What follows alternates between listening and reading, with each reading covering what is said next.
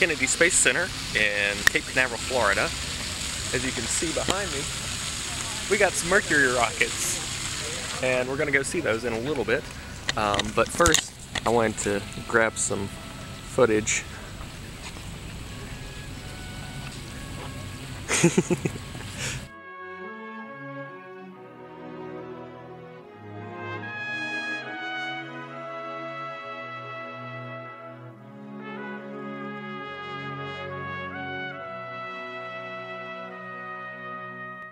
thing I've noticed is that the uh, ticket center, the self-service ticket center, is shaped like the SLS Orion system that we haven't even launched yet, but is in development.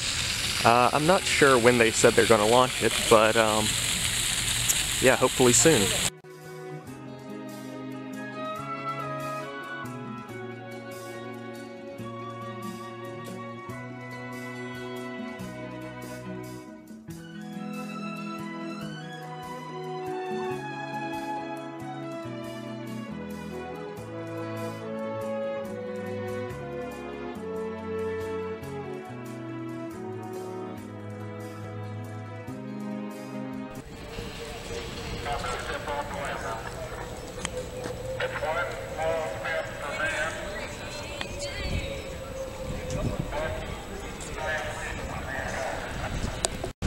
Brand new launch tower for the SLS. The yellow crane on the right, that's what's putting up the five service arms on the tower.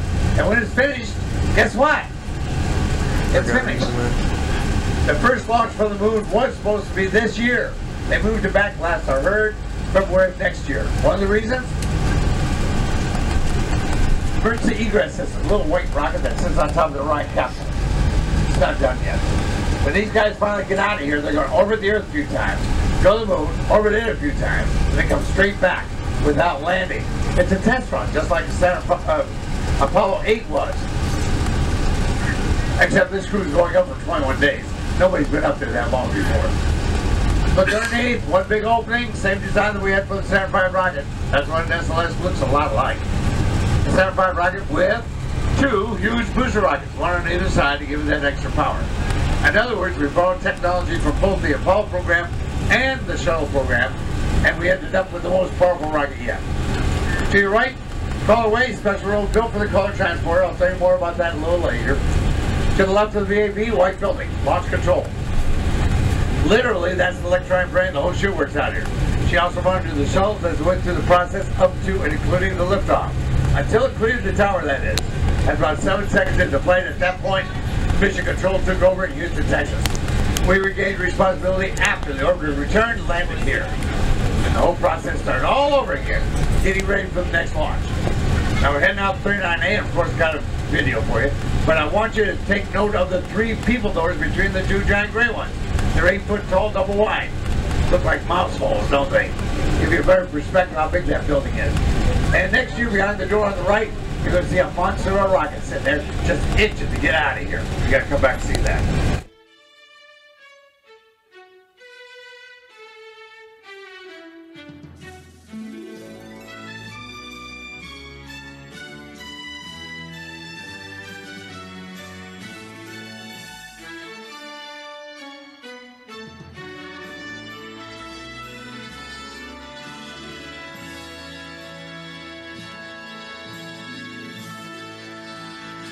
Model of it's coming up in front of us on the right on that trailer. To the right of that, the white box, called the white room.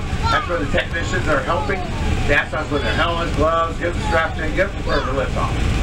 Front right, M113 Armored Personnel Carrier, different color. That's the color that NASA discovered. It's easy to see in smoke. So your new fire truck's probably going to be that lime green color instead of red.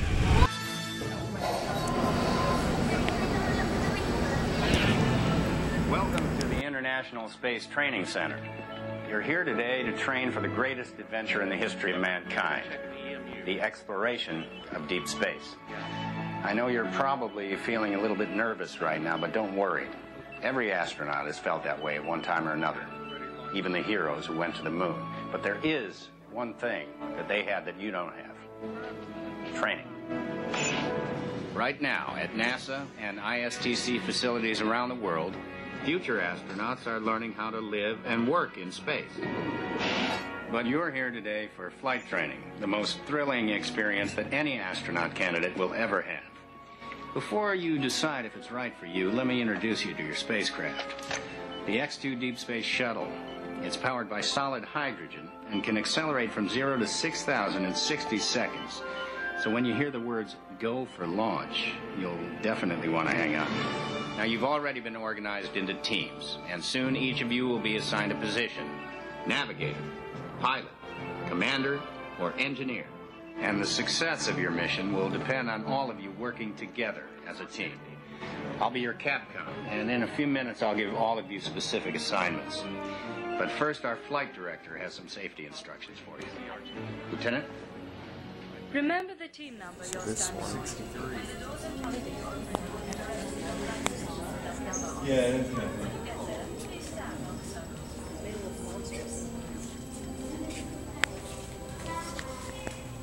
During your mission, you will be exposed to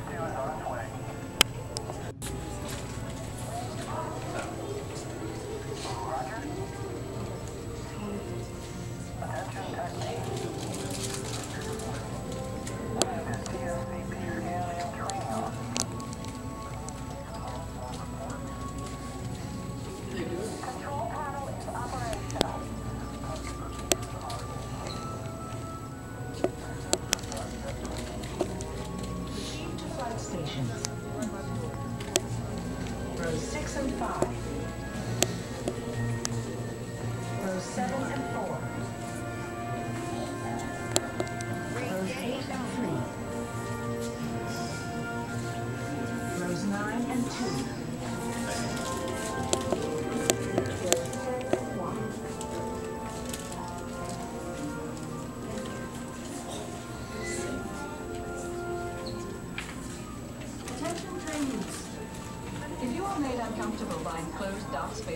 Simulators, you may exit the flight training area now. Ask a uniformed crew member for directions.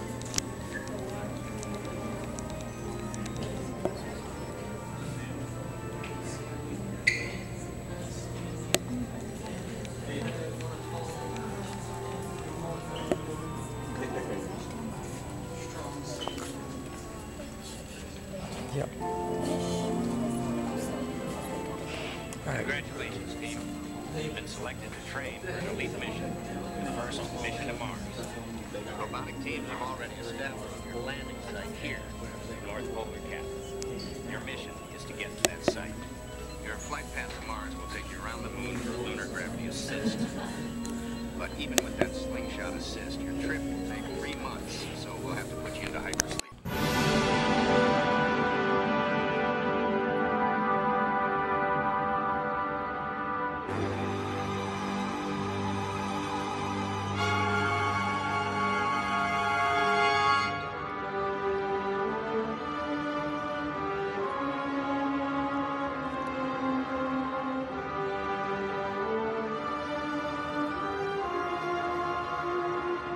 Um, it just flashed up there, but this is the actual gantry-way that Buzz Aldrin and Neil Armstrong and Michael Collins took to get to the Apollo 11 capsule that would then take them to the moon. So I'm walking where Buzz Aldrin, Neil Armstrong, and Michael Collins walked in July of 1969. That is cool.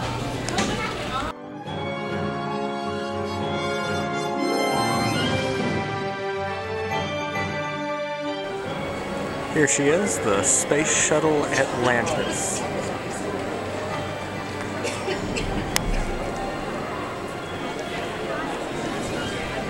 And I'm sure this video does not do it any justice.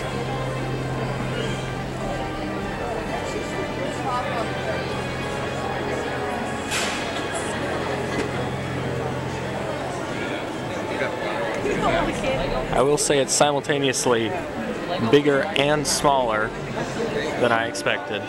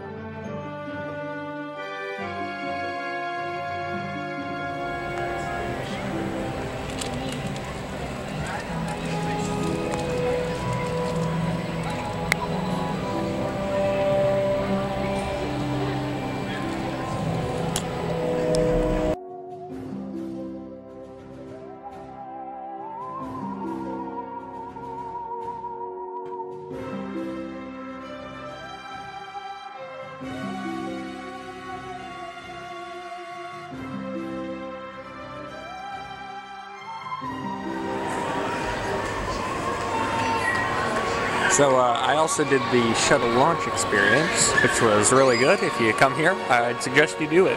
It's sort of like Mission Space over Disney, except you're not pressing stuff and it really only shakes you. So check it out.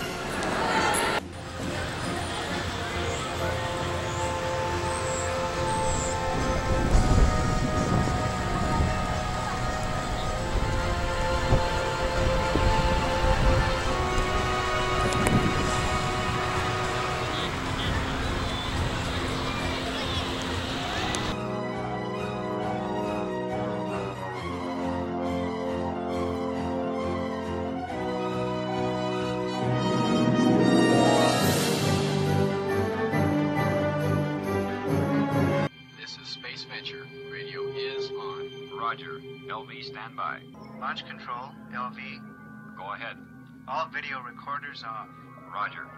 SBO, turn off your video recorders and focus OSP camera to monitor spacecraft umbilical. Roger. OSP, do you read? Roger.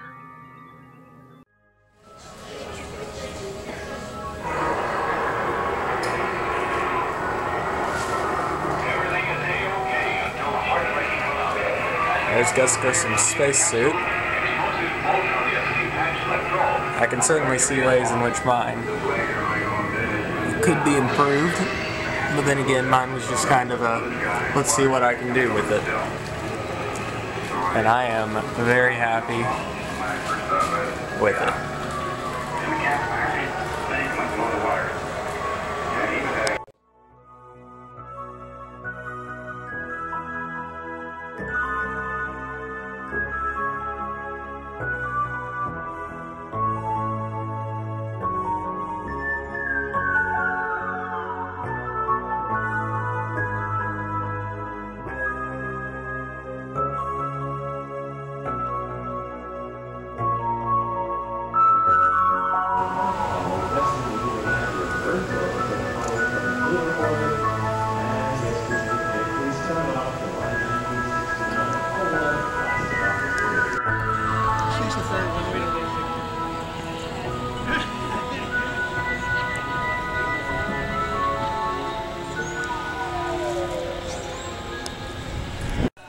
This is the Orion spacecraft, which hopefully, within the next couple of years, will take Americans back into space on our own systems instead of relying on the uh, Russian Soyuz ships.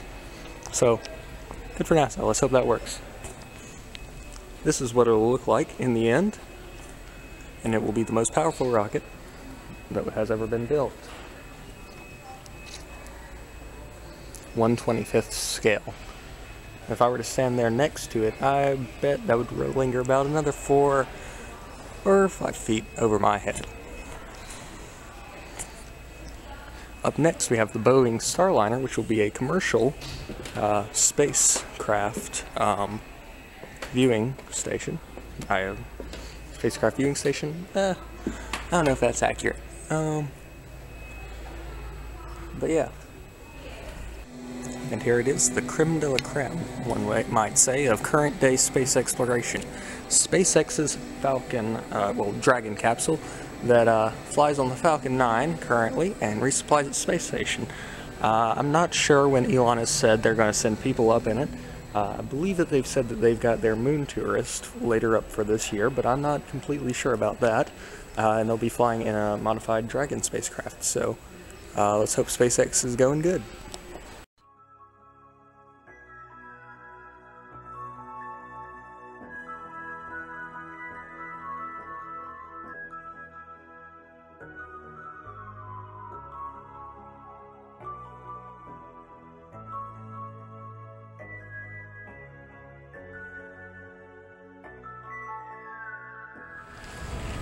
Little aside, look at these little picnic tables.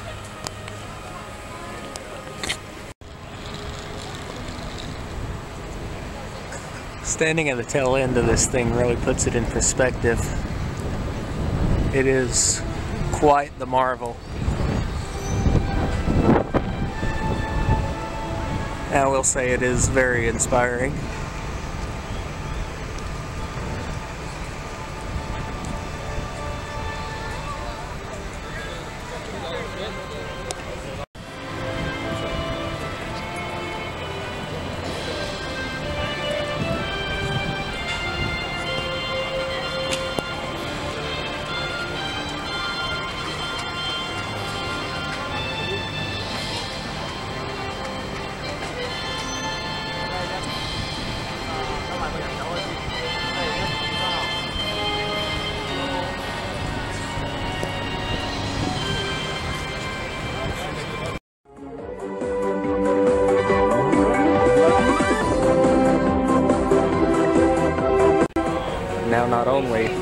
NASA pushing, uh, you know, NASA logos, but now they're pushing uh, SpaceX.